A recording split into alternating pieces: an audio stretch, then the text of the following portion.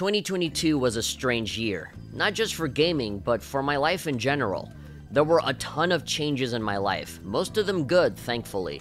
So most of my time has been dedicated to actually touching grass and just living my life, which is why I haven't uploaded any videos in months, other than a podcast that no one really cares about.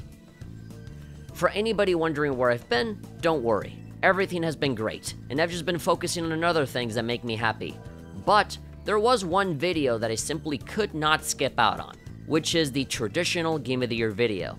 Of course, one of those things that really made me happy this year was gaming, and lots of it. However, it wasn't really perfect, because 2022, gaming wise, was really strange, because it doesn't really feel like the next generation of gaming is truly here.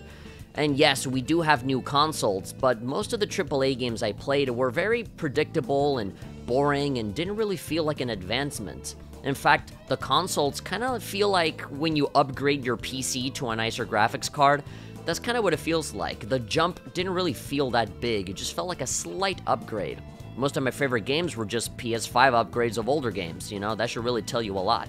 It felt like most AAA games were hiding behind those pretty looking graphics in order to justify their total lack of creativity and drive to do anything different than the safe path of copying other things that were more successful before. I was severely disappointed with this year's lineup of AAA games because it felt like making money was more important than quality. All of them felt the same to me, but when it comes to smaller companies and independent developers, they really hit it out of the park in my opinion. Most of the games in my Game of the Year list are from smaller developers, with a few exceptions, and that's really saying something.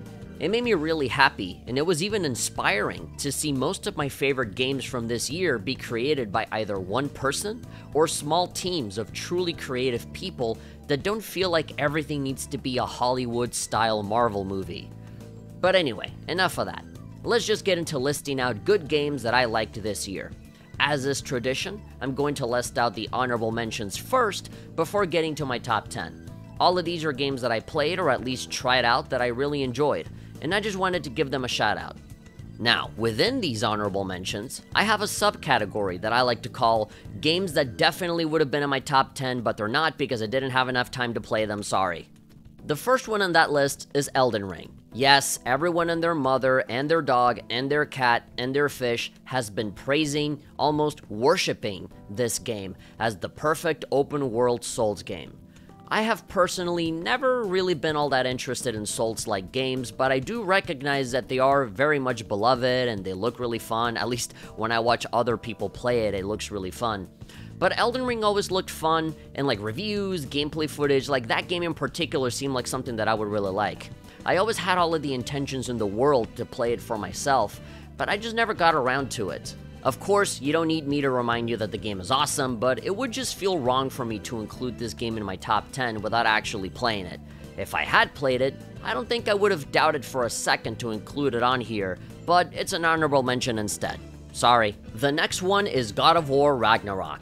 Just like Elden Ring, everyone's been talking about it, and I'm sure you already know what you feel about it. I, however, have a lot of conflicting feelings when it comes to the God of War reboot in general. I think they're good games in general, but I think they're terrible God of War games. I feel like if they just reskinned it to have original characters and stuff instead of just Kratos, I would probably really like these games a lot more than I actually do now.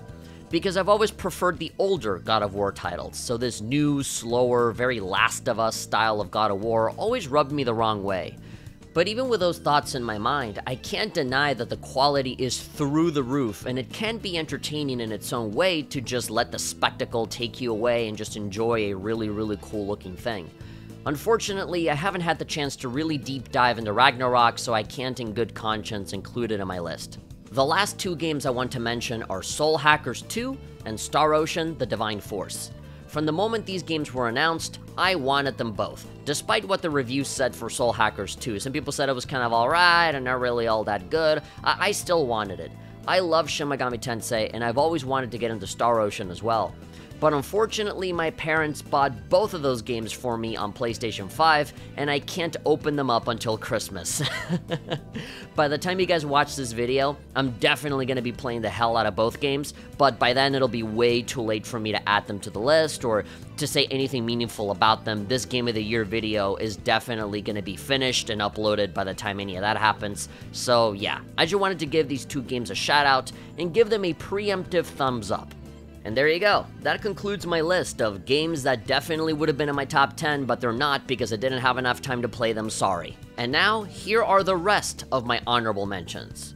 Arcade Paradise, Bayonetta 3, Stanley Parable Ultra Deluxe, Pokemon Legends Arceus, Sonic Frontiers, Horizon Forbidden West, Sifu, OlliOlli World, Dying Light 2, Getsu Fumaden Undying Moon, The King of Fighters 15, Monark, Shadow Warrior 3, Rune Factory 5, Ghostwire Tokyo, Kirby Discovery, or Kirby in the Forgotten Land if you prefer crappier titles, LEGO Star Wars The Skywalker Saga, Advance Wars 1 and 2 Remake, Nintendo Switch Sports, Salt and Sacrifice, Fire Emblem Warriors 3 Hopes, the Klonoa 1 and 2 remakes, Eiyuden Chronicle Rising, Moss Book 2, Unpacking, Power Wash Simulator, Pac Man World Re-Pac, Neon White, Red Out, Cult of the Lamb, RPG Time The Legend of Wright, Tinykin,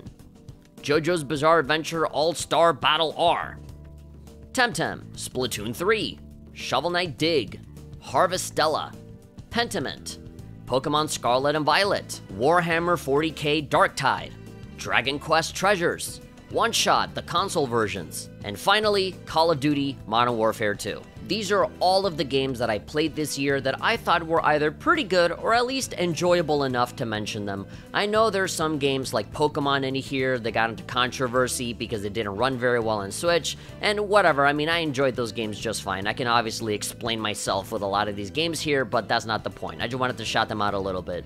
I apologize if I missed your personal favorite, but I am just one guy, and I can't play every single little thing out there. In fact, when I was building my list, I was actually kind of shocked that I actually played this many games this year. My time has been very limited lately with a lot of the changes that have been going on in my life, so I'm surprised that I was able to experience so much. But yeah, I guess a lot can happen in a year. Goddamn. Anyway, let's move on to the big ones. My personal top 10 games of 2022. Let me remind you all that this is just my own personal and highly subjective list. This is just my opinion, and I have no authority over anyone in any way. Just because I like certain games, that doesn't force you in any way that you have to like them too or anything. You're free to disagree. I know the kind of games that I like for me. I know what works for me, and I never feel like I need to give in to the pressure and just pick the popular thing. And besides, I already mentioned God of War and Elden Ring, and I acknowledge that they're good games. Go play both. There you go. Your opinion has been reinforced and validated. So now let me have my opinion for a little bit. If the only thing you wanted from this video is to get a reminder that the game that you already know you like is in fact good, then there you go, there's your reminder. All 10 of these games, in my opinion, are awesome. It doesn't matter what order they are in, just because a game is at number 4, it doesn't mean that it's like objectively better than number 7 or whatever. All of them are great, and I recommend all 10 of them, so don't get too hung up on the numbers and just enjoy the video, alright? Let's begin. Actually, before we begin, this is me from the future telling you that I've decided to add an 11th game onto my list. It's surprising how even in December, right when the year is about to end, there's still a bunch of notable games coming out that are worth talking about. But one of them was so good that I decided to make an exception and add it onto my Game of the Year list as an 11th entry and that game is Witch on the Holy Night. I have mentioned in the past that I was seriously looking forward to this game. This is a very old visual novel that's been out for a decade in Japan, but never got an English release date until now. If any of you were curious about the Fate franchise, Melty Blood, Tsukihime, or anything from Type Moon, then you must pay attention to this game, because it's essentially the precursor to all of that. In my opinion, it's a valuable part of our gaming history, and it's a massively big deal that it's finally coming over to the West. And I'm glad to say that it delivers on all fronts. Witch on the Holy Night is possibly one of the best visual novels I have ever played so far. There's no traditional gameplay here. You're not running around in a big open world, you're not fighting or shooting anything or doing online death matches. It's just a great story with great characters. This is not like normal visual novels where you just have two cardboard cutouts of characters talking back and forth with a generic background. They really go out of their way to make a lot of art. It really does feel like you're watching an anime or something that is truly cinematic and dynamic. It doesn't feel like I'm just sitting there reading the story. I'm watching things unfold in a really natural way, especially now where the game has been remastered and improved upon by offering higher resolution art, voice acting, a better sounding soundtrack, and of course an official English localization for all of us here at this neck of the woods. With the exception of a few spelling mistakes and grammatical errors here and there, the translation is surprisingly good, and I think most people will be happy with it, even with me, because I complain about localizations and translations all the time. If any of you care even a little bit about seeing good stories in video games, if you're curious about getting into the Fate universe, or you just want to know why this old ass game from 2012 is such a big deal, then I highly, highly recommend you give this game a chance. It's only 20 hours, so for visual novel standards, it's pretty short, and you don't have to know anything prior to be able to get into this. As I said, this is pretty much just the embryo that gives birth to all of the fate related things that people love so much these days. So there will not be a more perfect opportunity than this one to experience one of the greatest and most iconic visual novels ever made. Okay, I said my piece. Now I will pass the microphone on to myself from the past, from the previous recording, to continue talking about the other 10 games that I like this year. See ya. This game is insanity and I love it from the same guy that made Devil Daggers. Hyper Demon is the amazing follow up that came seemingly out of nowhere. It could have been very easy to have the same mechanics, make a new level, and just slap a number 2 on it, and there you go. Easy money, Devil Daggers 2. But no, the developers went above and beyond to take everything that Devil Daggers did and flip it on its head, almost literally. There's so much more to the shooting that allows for more experimentation. The enemies are more complex, the timer is completely different from Devil Daggers, and of course, the visuals are unlike anything I have ever seen before.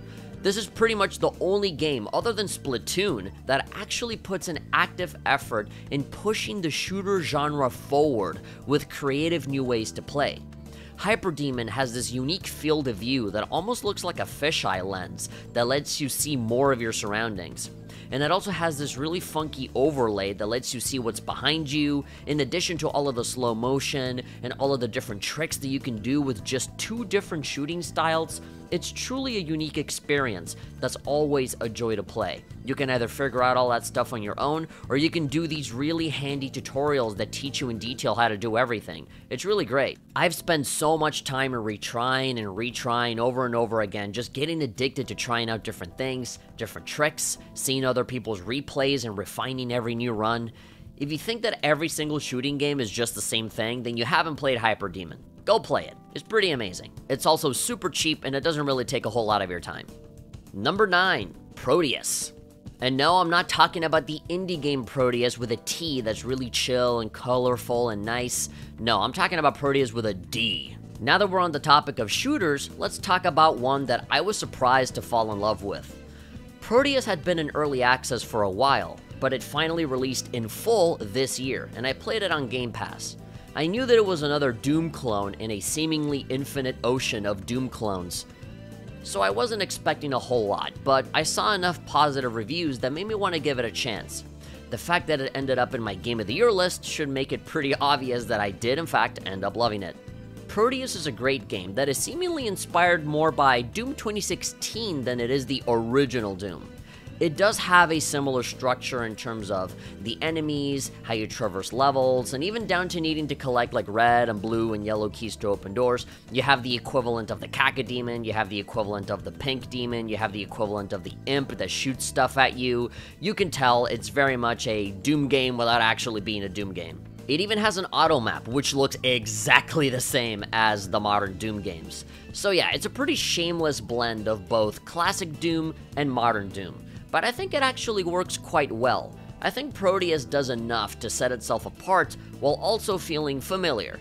This is especially so when factoring in its unique art style. I love the way that everything moves and animates in the way that it does. And the graphics look really nice, especially when it's raining. It just feels like a super elaborate mod. When traversing the levels, everything makes sense and it's super fun to look for secrets. I always love it when I play these kinds of games where I go through so much of the level and then I end up circling back around all the way back to the beginning or going back the way I came. It just this whole thing where the levels just make their way back around full circle and I end up finding secrets and places. I, it's just so, so cool. It, it feels like I'm playing a regular Doom game.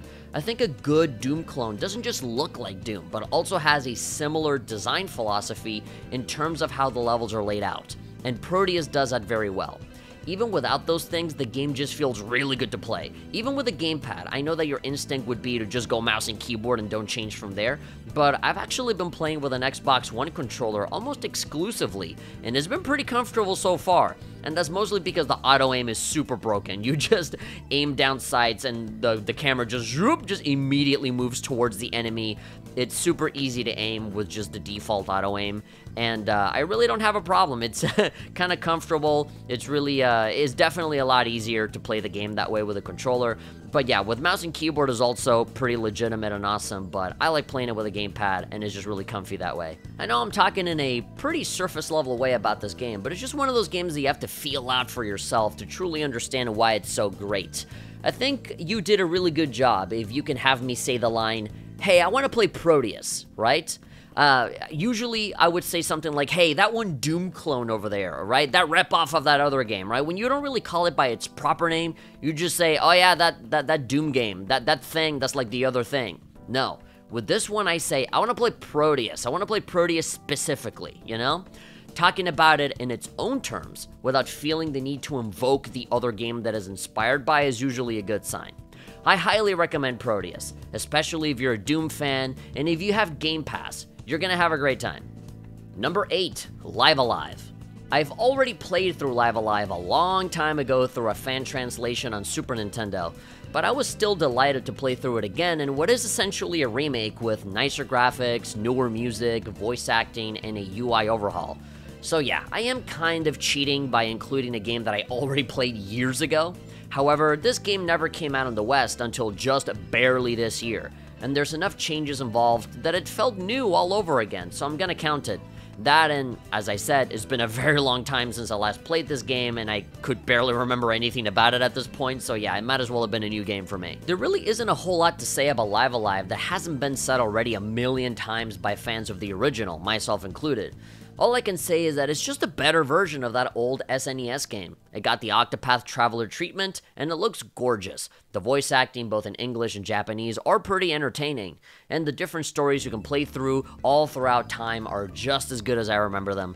I don't want to spoil anything, but rest assured that this is a must play for any JRPG fan. If you knew about this game but you never played it because it was never officially released over here, then now is the time, because Live A Live is a classic, and I think you owe it to yourself to at least give it a shot. Number 7, Crisis Core Final Fantasy VII Reunion. Speaking of older games being remade, hey, Crisis Core. One of the most beloved games in the compilation of Final Fantasy VII was released on the PSP years ago. It was a little rough around the edges, and that combat system took a little bit of time to get used to, but everybody remembers it fondly despite its flaws. Just like with Final Fantasy VII Remake, people have been asking for a Crisis Core remake since forever. When we finally got the Final Fantasy VII Remake, I knew it was only a matter of time before a Crisis Core remake was announced. And now it's here and very late into the year. I was waiting until the last possible moment to be able to play as much as I could before deciding if I wanted to include it in my Game of the Year list. And I'm glad I did that, because it definitely deserves a spot. I placed this game next to Live A Live because both are basically the exact same thing, in terms of them being older games that got some improvements and a fresh coat of paint. It doesn't sound like much, but believe me, it makes a huge difference. Pretty much everything about Crisis Core Reunion is better than the original PSP game. The graphics are better, the music is awesome, and even the combat. I think that's probably the most important part with this little slot machine kind of system.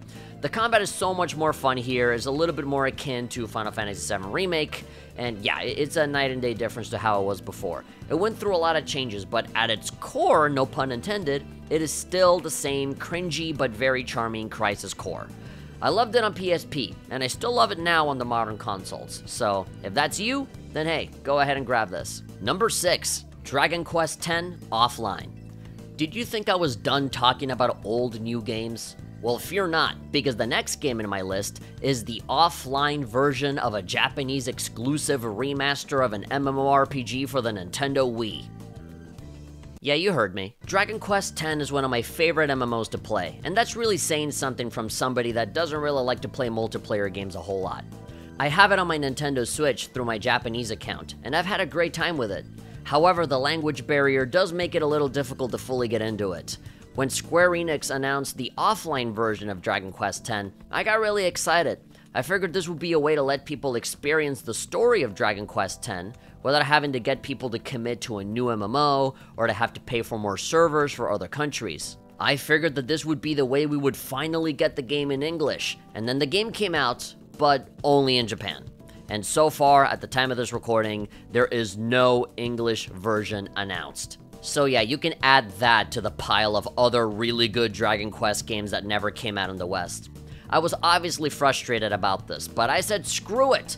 I decided to go ahead and buy the game on Switch anyway with my Japanese account. And honestly, I don't regret it at all. I have adored my time with Dragon Quest X offline, even if it means pointing my phone at the screen with Google Translate on it so I know what's going on. Just like Live A Live and just like Crisis Core, Dragon Quest X is the older Wii game, but remastered and with no internet connection required. The characters got all chibi-fied, which a lot of people complained about, but I stopped caring about that a long time ago. I got over it very quickly. Everything else looks better, sounds better, is voice acted, and the map and systems have been overhauled to fit the single player experience so much better. And honestly, outside of the character models being better in the MMO, I think I prefer the offline version. It's just so much fun to play this as a regular single player Dragon Quest game, even in Japanese. If you've played other Dragon Quest games before, then you should have a pretty good idea how this one works as well. There's big bad guy, you go off on an adventure to try to beat him up and you level up, typical classic RPG stuff. But now you have to factor in a little bit more of the MMO side of things by choosing your character race, your class, customizing your character based on like what weapons you want to use, and just a whole bunch more stuff. I really love how they adapted the MMO parts into this single player game, to the point that it makes me want more MMOs to do the same thing, right? Why don't you have an offline version for most MMOs? Just have an offline version of like Final Fantasy XIV or something, where you can experience the story without having the game disappear when the server shut down. Maybe then we wouldn't have to lose every single free-to-play game that doesn't do well, right? You wouldn't want to lose all of that stuff to time, so make an offline version of it. But hey, whatever. That's a rant for another time. I digress. I loved Dragon Quest X and I know it's not over yet because they'll eventually release DLC expansions that adds more story to it, which of course is the same expansions from the regular MMO, so I'm looking forward to continuing to play this game. I really, really want this game to come out in English, but for now, I'm happy enough with my Japanese copy. It was a little expensive, but at this point, it's worth the money. I've already spent so many hours on it. Number 5, The Legend of Heroes Trails from Zero. Okay, I swear this is the last old new game that I talk about. Are you starting to realize why I found 2022 so disappointing? A large amount of my favorite games this year were just old ass Japanese RPGs that just got remastered to look and sound better. Some of these games took forever to come over to the West, and one of them still hasn't come over yet. However, I believe this game is one that truly deserves to not only have an official Western release, but to also land a spot on my Game of the Year list and that is, of course, The Legend of Heroes, Trails from Zero. I feel like every year I have a Legend of Heroes game on here, but that's because all of them are just that good. If any of you follow my channel in any way, then you already know that I spent a long time playing through the fan-translated version of the game on stream from beginning to end. I loved it so much that I actually went through the trouble of buying the official release and playing a significant portion of that too but by the time that happened, my mind had already been made up. Trails from Zero is an excellent entry in the Legend of Heroes series. It was one that people had been asking for for a long time. There was a lot of lore and characters that we as fans were missing out on because the Crossbell games never made it to the West. We got the Cold Steel games that take place a little bit after those games, and I think one of those games takes place at the same time as one of these Crossbell games. So, storyline wise, things got a little confusing because we had these games that we needed to play and we just never got them. There was a giant hole in our knowledge that needed to be filled and we finally got at least one half of it this year. Next year, we're gonna get the other half. What can I say about Trails from Zero that I haven't said a million times during my live streams? It's an amazing game. It has everything that you could ever want from a Legend of Heroes game, such as fantastic world building, great characters to interact with, great dialogue writing. I love the banter between all the characters, and a fun RPG experience with a ton of stuff to do. I saw on the internet that a normal playthrough would take about 30 to 35 hours, but for me, I ended up playing this thing for 100 hours, and I still don't think I've seen everything this game has to offer. It has a seemingly boundless amount of dialogue from characters that you genuinely want to know more about, and not just main characters like random NPCs all throughout the city that have their own little stories to tell. And the combat has the usual orbment system that allows you to experiment and try out different character builds. The music is probably one of the best in the series, and all of the smaller scale, intimate moments stick out to me so much more than the larger story at play. Having Japanese voices alongside a higher resolution, turbo mode, and better frame rate makes this the best that this old PSP game will probably ever look. Some of my favorite characters in the entire franchise are in this game, and Crossbell has become one of my favorite places to visit in The Legend of Heroes. The fact that I was more than happy to play through this game again almost immediately after finishing 100 hours of the fan translated Geofront version should be a testament to how incredibly good this game is. If you have even a passing interest in narratively driven games, RPGs, or you're just really interested in good world building with characters that you're going to end up knowing better than your actual friends in real life, then you owe it to yourself to play Trails from Zero. It's that good. I never thought that I would ever be able to replicate that same magic that I felt when I played Trails in the Sky on the PSP for the first time. But with playing Trails from Zero, I kind of felt it again, and I think that really means something. It's an awesome game. Go check it out. Number 4, Midnight Fight Express. Okay, as I promised, we're finally gonna talk about new games now, no more remasters. Midnight Fight Express is fucking awesome. Made by just one guy, it's basically one of the most fun beat 'em ups I've played in a good long while.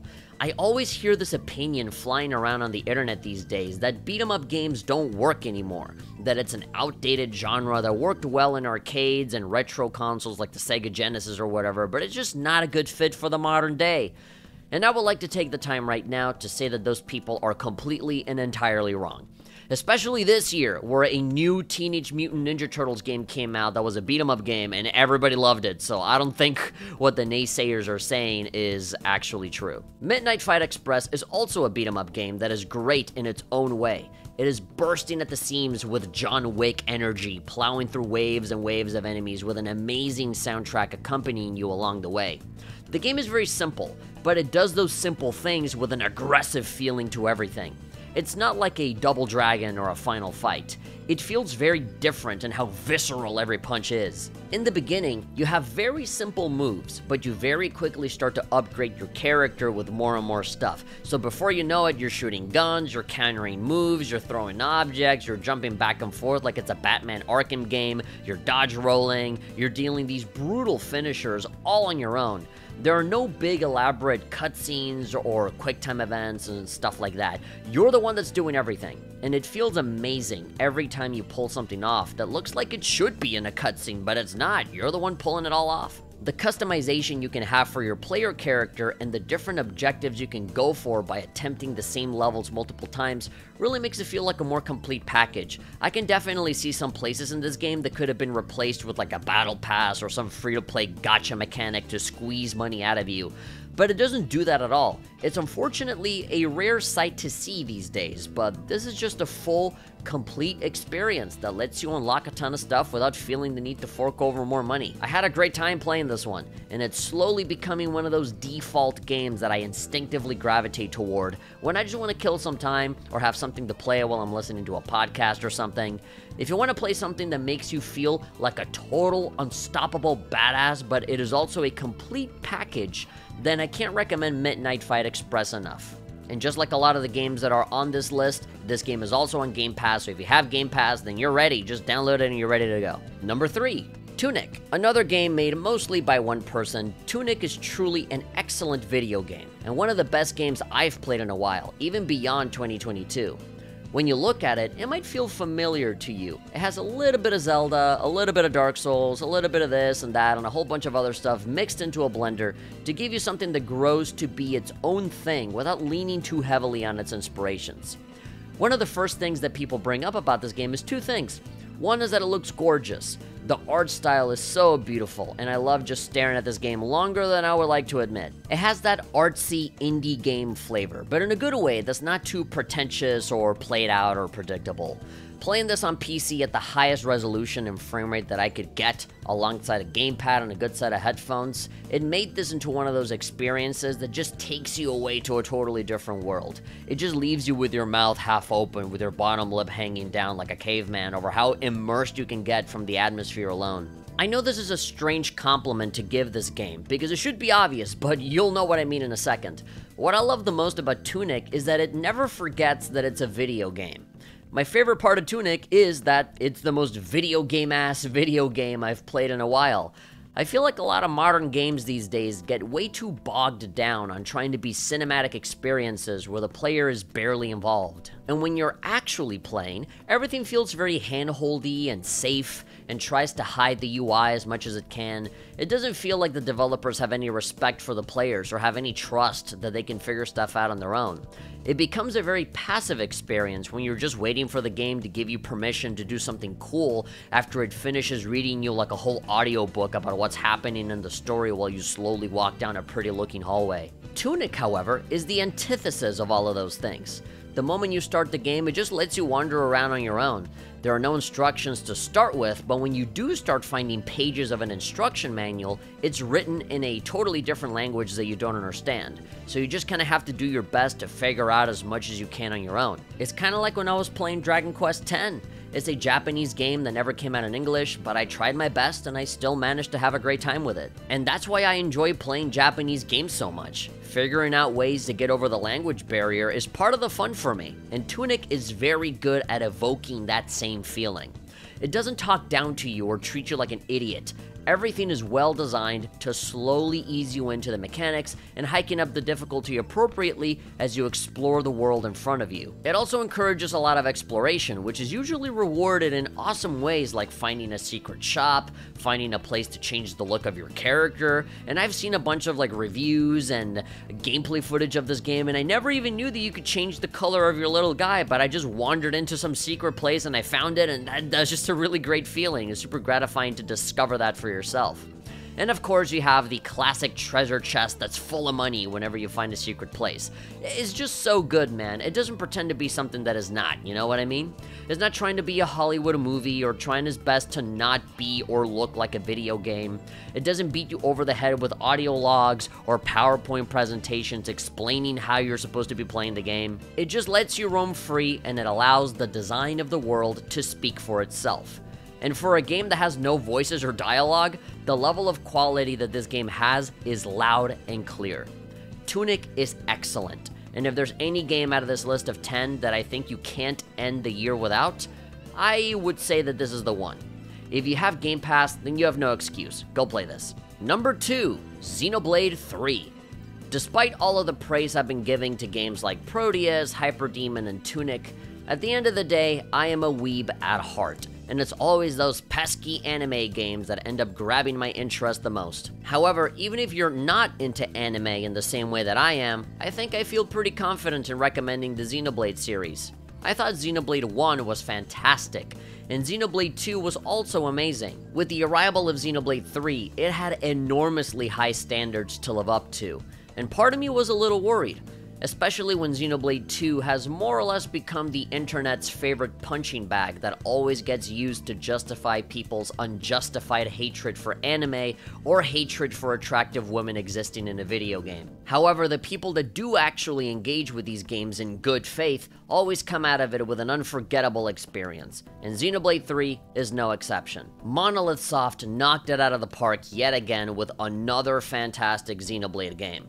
I apologize if my comments regarding this game are super vague, but I would very much prefer you just go and play this game yourself. I wouldn't want to spoil a single second of this game for you beyond what they have already shown on like Nintendo Directs and stuff like that. Visually, it's beautiful. Music-wise, it's amazing. Gameplay-wise, it's so much more interesting and expansive than previous games. Even the UI just looks so much cooler now.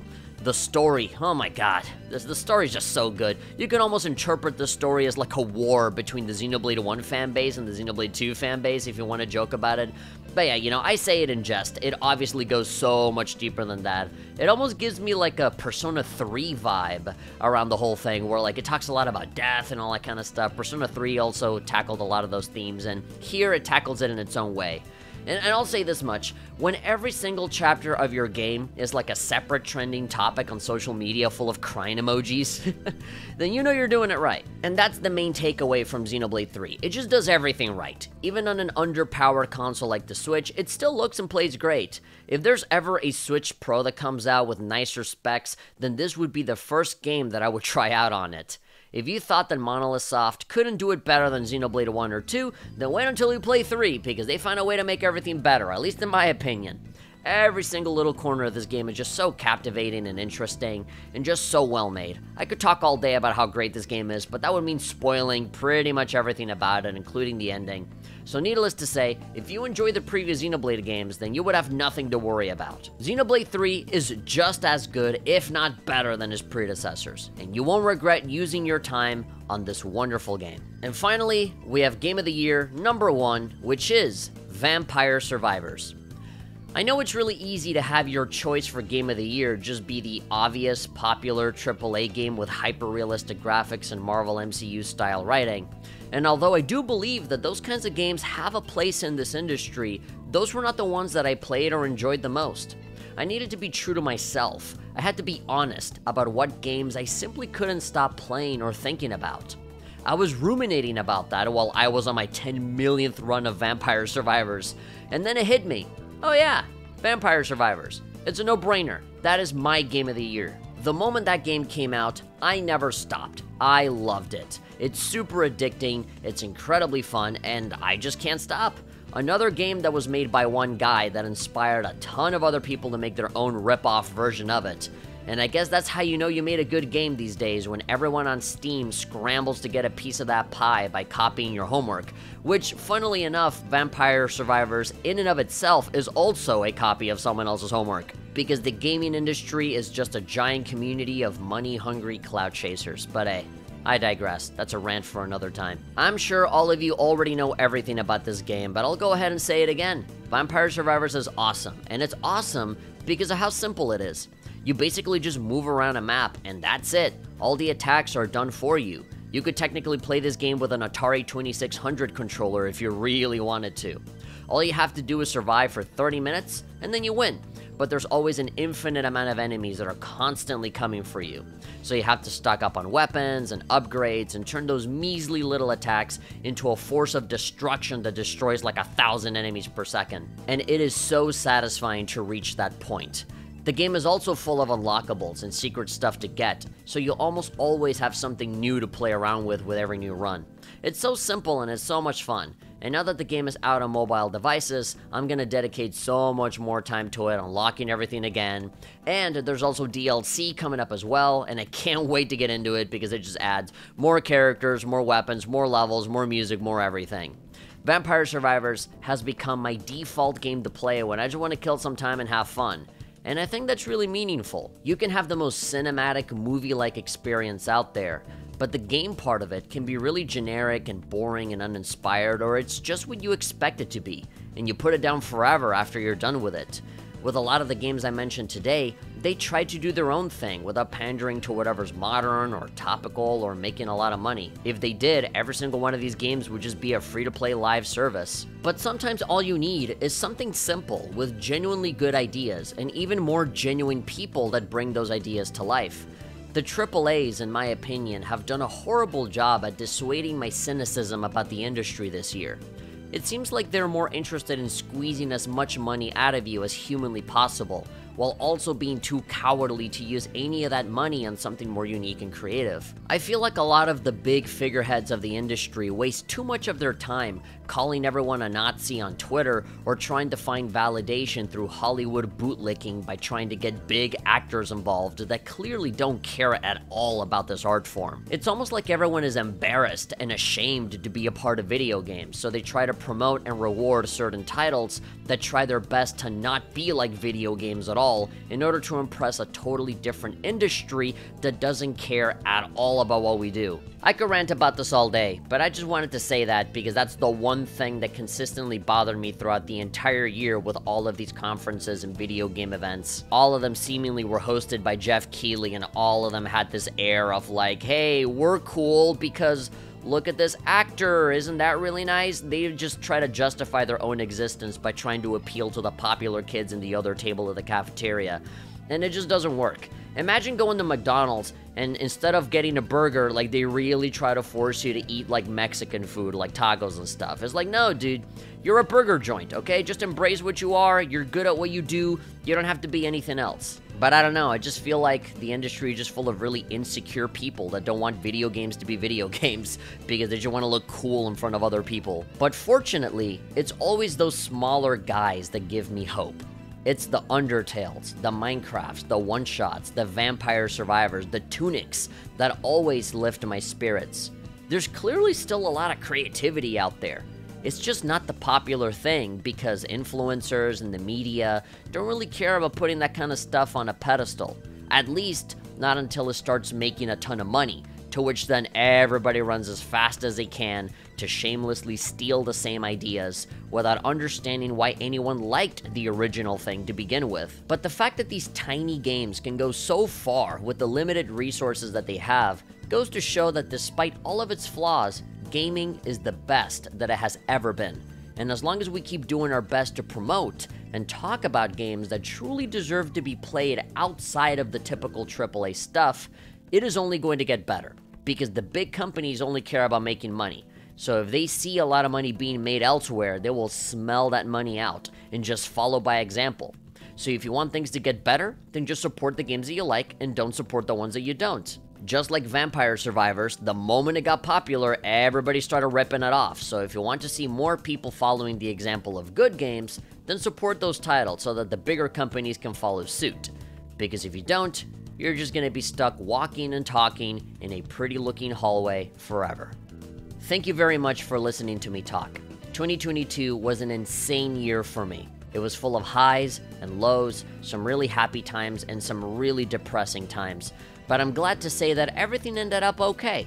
Um, things really ended on a positive note with really nice, good, positive changes in my personal life and changes to the kind of dreams that I want to chase after. I think that's the big one in terms of like what personal projects and what, you know, passions I have now. So yeah, I, I really apologize for being gone for so long and I'm going to apologize again because my absence on YouTube will unfortunately continue. I feel like I haven't uploaded anything in like a year, but in reality, at the time of this recording, it's only been a month since my last podcast episode. But yeah, it's funny when you think about it. I feel like I haven't been on YouTube in forever, but in reality, it's only been a little while. I've actually had longer breaks than this, but for some reason, this one just felt particularly long, probably because I've just been so busy with other things. But yeah, the point of the matter is that I still have, and I always will have plans for other videos in the future, but the reality is that my priorities in life have shifted completely into other projects that have nothing to do with YouTube. Maybe someday you will see them, right? Maybe those projects will evolve into a YouTube video where I talk about it, but for now, I'm sorry if it takes forever for me to upload something new again. I am not really interested in Let's Plays, reactions, or even live streams anymore. So, the next time I upload, I would prefer it to be something a bit more meaningful. Kind of like this video that you're watching right now, where it's scripted and edited and is a little bit more well put together, as opposed to something that I just fart out in 20 minutes and upload it. Currently, I am planning to make a video on One Piece Film Red, and then a video on Green Day Rock Band. This could very well change, but in case you're curious about what I'm working on, well, hey, those are the main things that I'm interested in at the moment. Of course, I'm always on Discord, so if those plans ever change, then the people on my Discord server will very likely be the first people to know. And that's pretty much everything I have to say. Thank you once again. I hope you have a great holiday season, and I will see you all again in the new year.